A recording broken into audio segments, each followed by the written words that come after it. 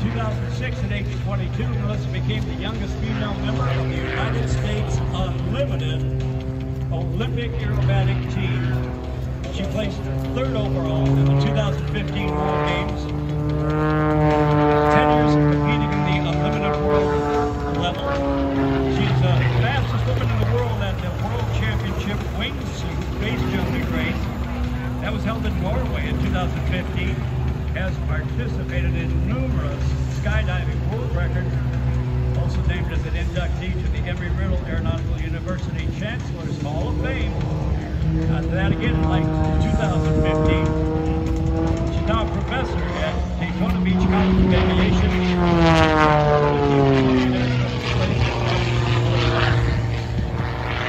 Well, Melissa is based part of the time in Florida with her husband and two of their children.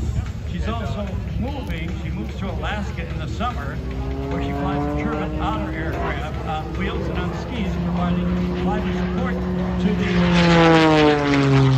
as well as glacier landings for Talkeetna Air Taxi.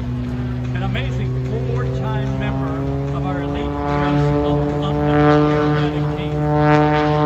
Recently, she started training for a new series of racing part of the World Championship Air Races, building on the of the previous Red Bull Air Race.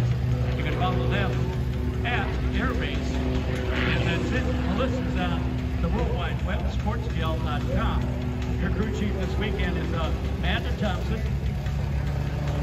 And the young lady overhead, I'd like to thank Mike Speed Aviation,